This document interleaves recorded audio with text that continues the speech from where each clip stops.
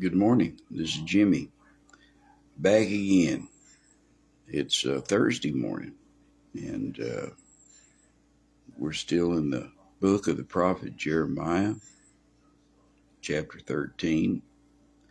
And I think that uh, we will probably finish today. I thought we would finish 13 yesterday, but we didn't. I'm always promising you that I'm not going to go too long today because I have to get out of here.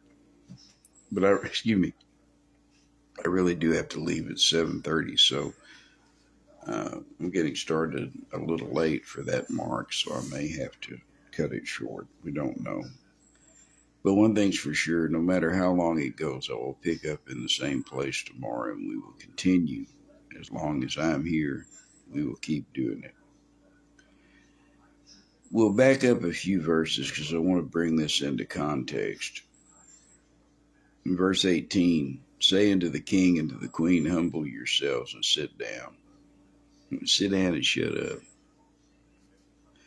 Good advice for politicians. Say unto the king and to the queen, Humble yourselves, sit down, for your principality shall come down, even the crown of your glory. The cities of the south shall be shut up, and none shall open them. Judah shall be carried away captive, all of it. It shall be wholly carried away captive. Lift up your eyes, and behold them that come from the north. Where is the flock that was given thee? Thy beautiful flock. What wilt thou say when he shall punish thee? For thou hast taught them to be captains and chief over thee. Shall not sorrows take thee as a woman in travail? And if thou say in thy heart, Wherefore come these things upon me? Good morning, Gala. God love you. For the greatness of thine iniquity are thy skirts discovered, and thy heels made bare. Can the Ethiopian change his skin, or the leopard his spots? Then may ye also do good that are accustomed to do evil. Therefore will I scatter them as the stubble that passeth away by the wind of the wilderness. This is where we were yesterday. This is thy lot. God is speaking through Jeremiah to Judah and Jerusalem. And God says through Jeremiah, This is thy lot the portion of thy measure for me. This is what I'm giving you a tumbleweed rolling across the desert. Verse 24 Therefore will I scatter them as the stubble that passeth away in the wild, in the wind of the wilderness. God said, I'm making you about as useful and important as a tumbleweed rolling across the desert in a dust devil any of you have lived or been to the southwestern United States have seen this. This is my lot, the portion of thy measure for me, saith the Lord. Because thou hast forgotten me and trusted in falsehood. We spent a long time on this yesterday. It's a two part thing. You forget me, God says, and you trust in lies.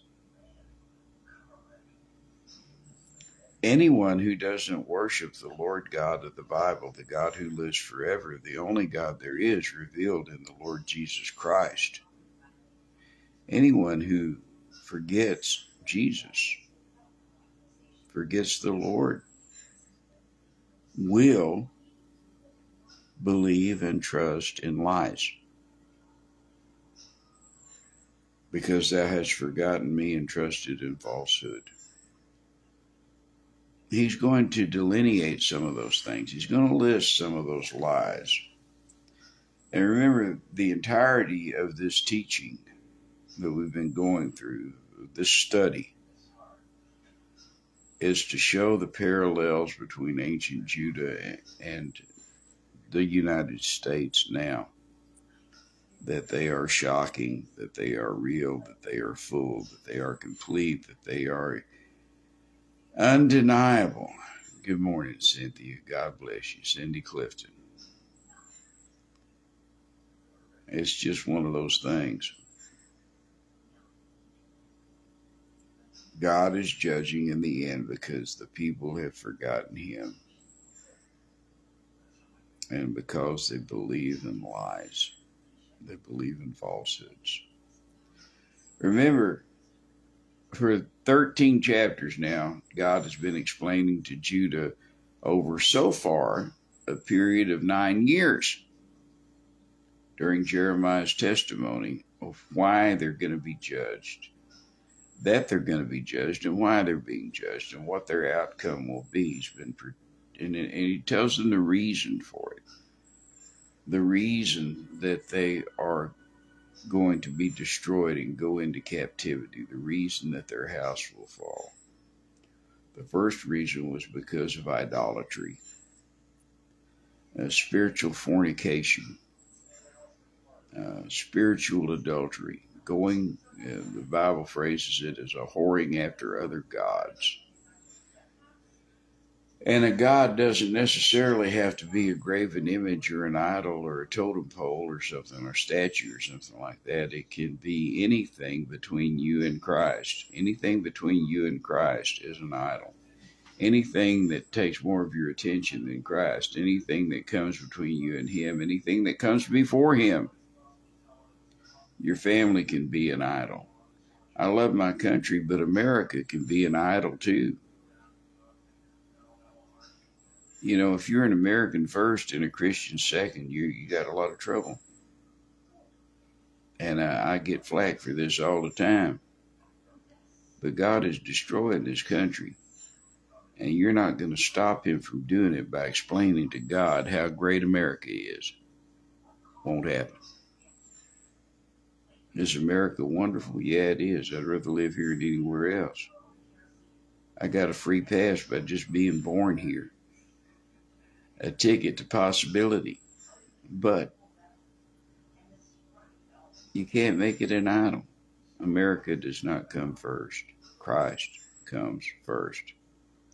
So an idol is anything that you put more stock in than Jesus. It could be your wife or your husband. Maybe you think more of them than you do Jesus. It could be your job. It could be your new pickup truck could be your bass boat. It could be anything that you put between you and Christ. That is an idol. That is you and I a whoring after another God. Because what is the object of our faith? The Lord Jesus Christ. So they were judged for whoring after other gods. Kevin, good morning. And then they were judged because they sacrificed their children on the altar to Molech and to Baal. And God said that never came into my mind, but yet they were doing it. And we discussed many times that there are more ways to sacrifice your child than to have an abortion. We sacrificed a lot of children that way. We sacrificed many times that to this society, this godless society that we live in. We just turn them over and let the government take over their minds and schools. You know, knowing what I know now, uh, if if I had it to do over again, my children would never set foot in a public school because it's just horrible. I, I, I listen to what the kids say when they come home I've got I've got five rental grandchildren ranging in ranging in age from seven to uh, twenty, and um, it uh, the things that they learn in school and in the world is just shattering, mind shattering, soul shattering I quake just hearing the things that they learn in school. Bill, good to see you. God bless you.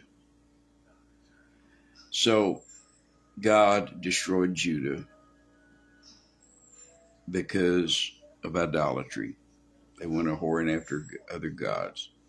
That is one of the reasons he's destroying the United States. The second reason God destroyed Judah, of course, as I just said, is sacrificing their children. Uh, the blood of the innocents, which he's destroying us for right now, sacrificing our children. The third reason was believing lies. That was the third reason that God destroyed Judah. And that is the reason, the third reason that he is destroying us now. There is no reprieve, there is no remedy. You can't stop it. He's already made the decision. Remember, the remedial judgments began on November 22nd, 1963. When we didn't return to him, he began the punitive judgment on September 11th, 2001, and that will continue until we're gone. Uh, we may still be here, but we won't be who we are now. So, the lies that Judah believed were two.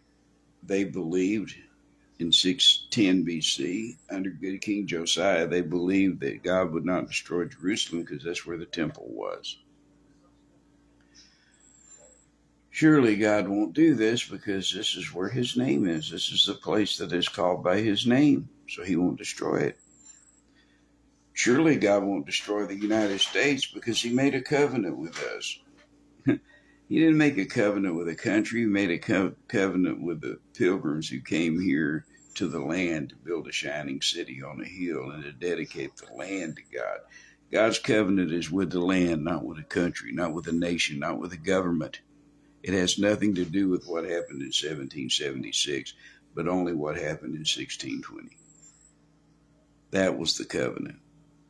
There's no covenant in the Constitution or the Declaration of Independence or the Gettysburg Address for that matter between this country and God. It does not exist. And it never did. So disabuse yourself of those notions. It is uh, it is just a uh, uh an alternative history promoted by people who want to raise money. It is not real. It is the product of dominionists and reconstructionists and covenant theologians and replacement theologists. Uh, doesn't matter. The point is, is that they believe that God wouldn't destroy Judah and Jerusalem because of the temple. We believe that He won't destroy the United States because we're His people. We're not His people. Regathered Israel are his people. Scattered Israel is his people. God only has one people. The ignorance, the utter ignorance that we encounter daily. Read your Bible.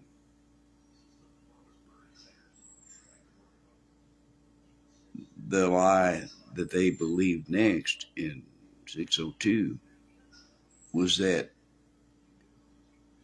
there would be peace.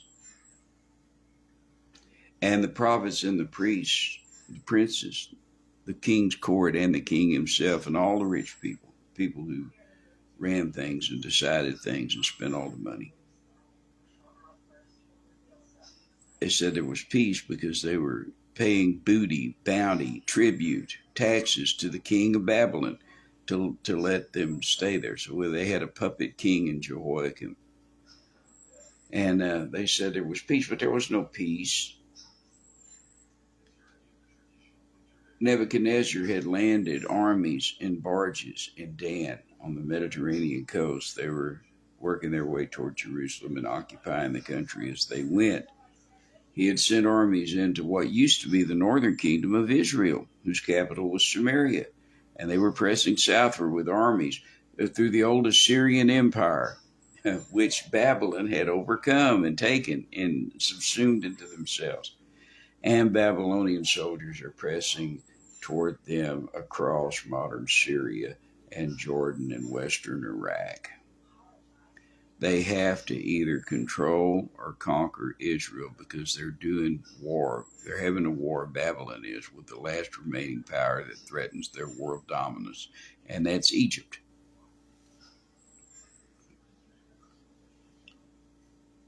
we believe the lie too that there will be peace, but there's no peace.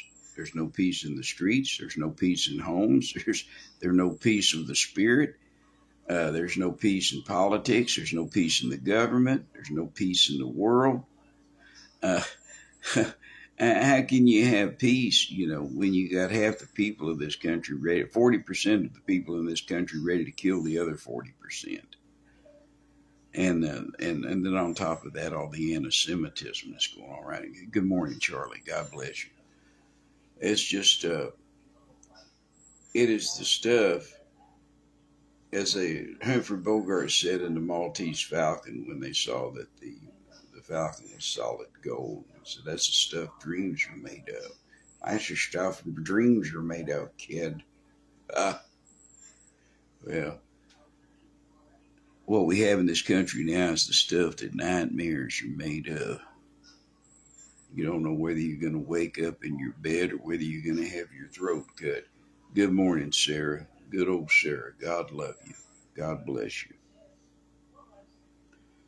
So, because they believed in falsehoods, because they forgot God. Remember, we believe in falsehoods and we have forgotten God. God says in verse 26, Therefore will I discover thy skirts upon their face, that thy shame may appear. I'm going to strip you naked so everybody can see how awful you are. And that has more to do with, do with ripping off her skirt. it's symbolic. He's going to rip away all the pretense. He's going to rip away all the lies. He's going to rip away all the excuses and let the people see themselves as they are and let the world see them as they are. Says, I've seen thine adulteries and thy neighings, and the lewdness of thy whoredoms, and thine abominations on the hills and the fields. Woe unto thee, O Jerusalem! Wilt thou not be made clean? when shall it once be? I have seen thy adulteries. He stripped us bare. I have seen thy adulteries. He's speaking specifically now about spiritual adultery, spiritual fornication, where Israel and Judah went a whoring after other gods. Israel did it a lot earlier. Uh, it really intense. It was from the beginning when Jeroboam, who, who, to whom God gave the ten tribes in the northern kingdom, whose capital was at Samaria, when he built the golden calves and put them at Bethel and at Dan. And he said, Here, Israel, here's your gods that brought you up out of Egypt, worship them. Because he didn't want people to go to Jerusalem, because he thought if people went to Jerusalem, that he would lose his kingdom. So he kept them inside as best he could with these false gods. That was the lure. Most of the Levites wound up migrating back down south because the temple was there and their service was to the temple, even though God had given Jeroboam the tribe of Levi. And if he would have trusted God, then God would have worked something out. Maybe he would have had something like the tabernacle up there. We don't know because Jeremiah was a, a an idol worshiper from the beginning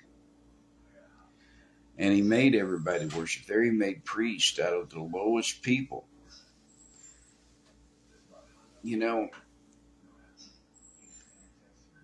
I tell people all the time that I'm an unlearned and ignorant man, just like John and Peter were before the council, the Sanhedrin, the high priest and his family there when they arrested him the end of chapter, at the first of chapter four.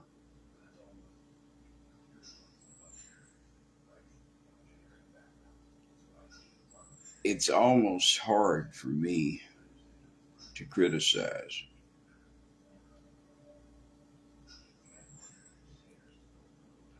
Because I've had such a terrible, wasted life. I spent 20 years drunk. you know, it got worse after I sobered up, and everybody I thought I was okay in my early 20s, mid 20s. But then I, I jumped in and stayed drunk for a long time. was running from God. So it's hard for me, even after nearly 27 years sober, 26 years preaching. It's hard for me to be critical of people who have all the credentials. And I'm talking about all the leaders of the currently ruling junta of the church business. You know, the ones you see on TV and on the Christian channels, so called Christian channels, religious channels on the cable, and uh, you hear on the radio different ministries different famous preachers. Because I don't have anywhere to stand except on the Word of God and experience. And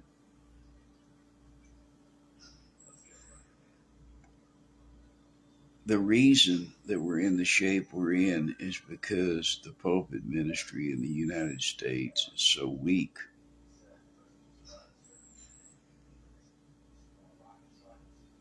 There are many good preachers, there are many good churches.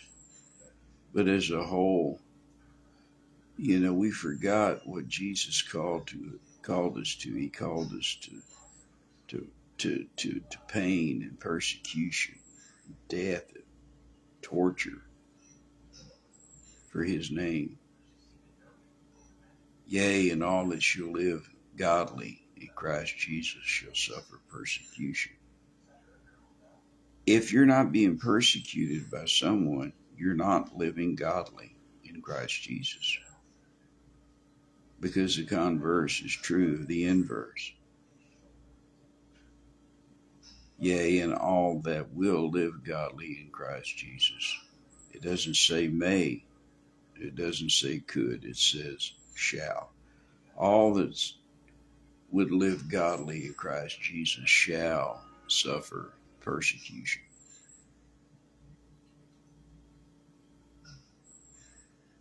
Spiritual adultery, idolatry, fornication,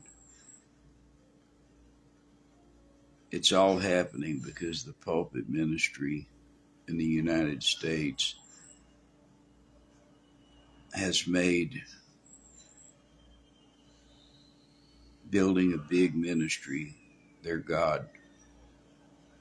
They have made church work their God. They have made activity their God. They have made programs their God. They have forgotten the Son of God who bought them with a price, and they are not their own. Just like He bought me with a price, and I am not my own.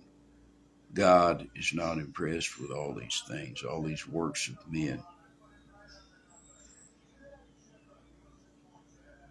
That call evil good and good evil.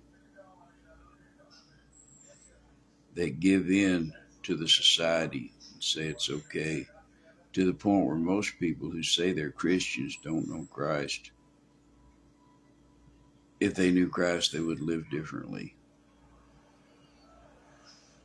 You can't belong to Christ and sin without repercussion. I'm not saying you can't sin, but when you do sin, the Holy Ghost will beat you up so bad that he will bring you back into line pretty quick. You can't get away with it. You see, you can you can sin after you get saved, but you won't enjoy it. It won't make you happy. I've heard one preacher say one time, and he says, I, you know, after I got saved, he said, I can sin all I want to. But the thing is, is I don't want to anymore. See, when you're truly saved, you do not want to sin anymore. You don't want to do it. I've seen that in adulteries. I've seen you follow after other gods. I've seen you trust in politicians. I've seen you trust in fascists and demagogues. I've seen you trust in would be dictators. I've seen you trust in, in communism. I've seen you trust in Marxism. I've seen you trust in movie stars. You trusted in all them, God says, instead of me. And thy neighings and the lewdness of thy whoredom. I want a God who won't punish me for being a pervert, who won't punish me for being an adulterer, who won't punish me for being a fornicator, who loves me just as I am, who won't punish me for having unnatural affections, who won't punish me for, as a male, being effeminate or as a female, being masculine. He won't punish me for that because it's all okay. I'm okay, you're okay, we're all okay. The names that is the way he phrases the lust of a stud going after a mare or a filly. I got to have you. I'm going to have you now. And then he mounts her. That's the way the horses neigh for one another. They'll kick down the stall rails to get to that mare they will kick down the stall rails to get in there and do their business.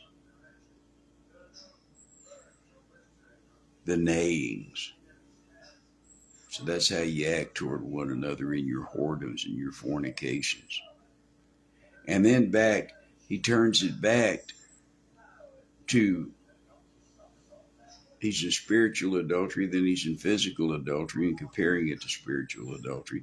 He just right back into spiritual adultery, the lewdness of thy whoredoms. Where you have men who are only men stand on stages and say, God told me this. God told me this this morning. Uh, I had a dream. I had a vision. This is what God wants. God already said what he wants. Everything else is irrelevant. It's just something in your head.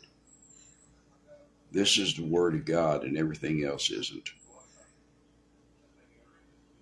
I tell you what, the minute someone looks at me and says, God told me, I don't hear anything after that. Because whatever they say, it may mean something to them, but it won't mean anything to me.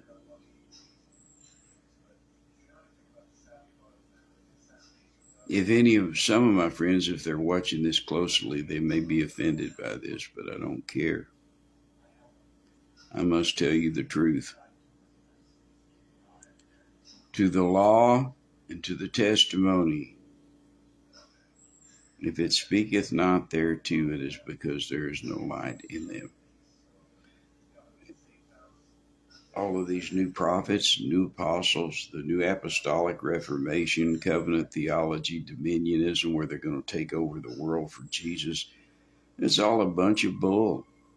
It's something that has come out of fevered brains where they want to heap more power unto men. Always the men who are running these organizations and these ministries. That's the lewdness of the whoredom. Ow. What a deal, man. God bless you. He was very fast when we were in high school and tall. And thine abominations on the hills and the fields. The abominations and the fornication he's talking about there is when they would go and worship other gods, when they would go into the fields and offer grain offerings and meal offerings and bake cakes to the Queen of Heaven, where they would go and hide in the fields and the hollows, and sacrifice their children so that nobody would see them do it. And then when they would go up on the hills to the groves where they would carve out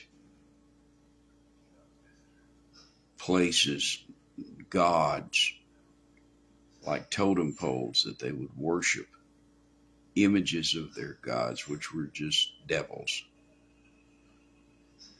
And they would burn incense on all the high places because they would climb up high because they figured God would see them better. Their gods would see them better if they were up high. Because, see, the real God, you can't hide from Him. He can see you wherever you are, but they denied Him. You don't have to climb up on a hill to see God and for God to see you. You don't have to crawl down in the corn stalks and hide for God not to see you because He can see you. You cannot hide from Him wherever you are. He sees you. God says, I've seen all your abominations. Woe unto thee, O Jerusalem. Woe unto thee, America. I've seen everything you've done. I've seen everything you've done against me. I've seen everything you've done against my word. I've seen everything you do against my Son, the Lord Jesus Christ, the Savior of the world. There is none other name under heaven given among men whereby we must be saved. Jesus said, I'm the way, the truth, and the life. No man cometh unto the Father but by me. Woe unto us. He was saying, Woe unto them, Jerusalem. Wilt thou not be made clean? He said, Come on, isn't there anybody there that wants to straighten up and fly right? Come to me now. I'll save you. I'll protect you. I'll deliver you from the wrath to come. When shall it once be?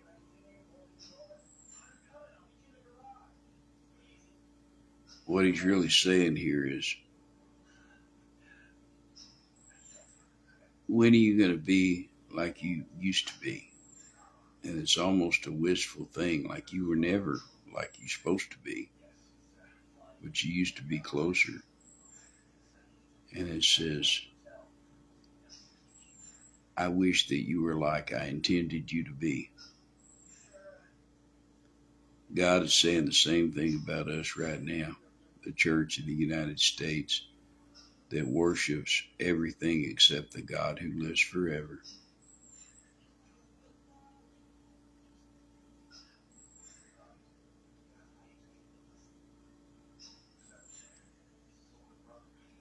When will you be what you're supposed to be?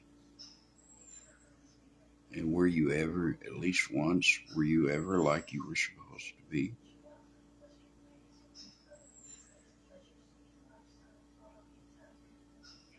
You know, Jeremiah, in the short book following Jeremiah, he writes in his Lamentations that about the nature of God and how he doesn't really let things slide because he's just and there must be justice. But in verse 22 of the Lamentations, which Jeremiah also wrote, it's a long poem about the fall of Jerusalem.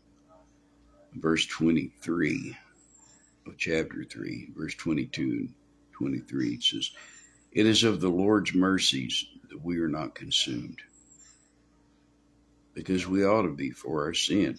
For all have sinned and come short of the glory of God. And the wages of sin is death but the gift of God is eternal life through Jesus Christ, our Lord. It is of the Lord's mercies. Good morning, Pam. God bless you. It is of the Lord's mercies that we are not consumed because his compassions fail not. You know, you know that song, Great is thy faithfulness, great is thy faithfulness. Morning by morning, new mercies I see. All I've needed, thy hand has provided. Great is thy faithfulness, Lord, unto me. They are born new every morning. Great is thy faithfulness. It is of the Lord's mercies that we are not consumed, because his compassions fail not. They are new every morning great is thy faithfulness. Come to me, all ye ends of the earth, and be saved. He's telling Jerusalem and Judah, I got your number.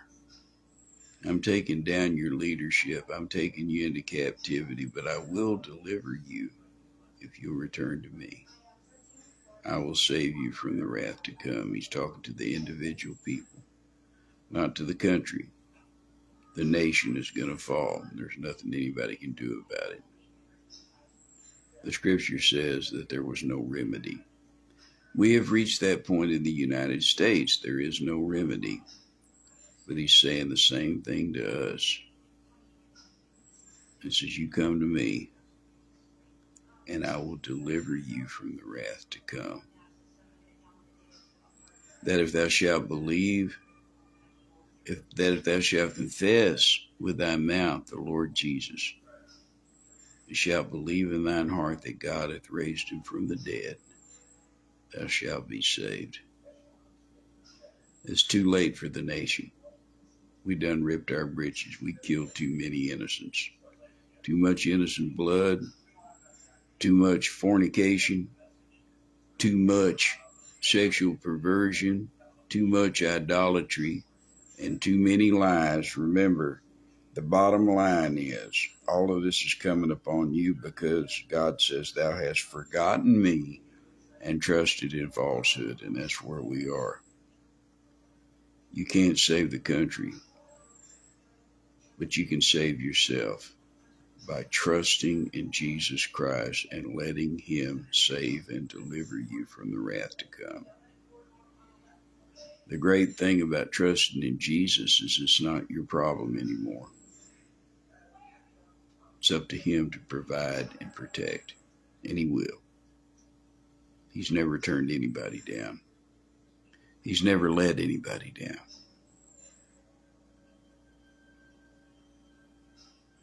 Wilt thou be made clean? When? How about now? You can. God says, Come, let us reason together. Though your sins be as scarlet, they shall be white as snow.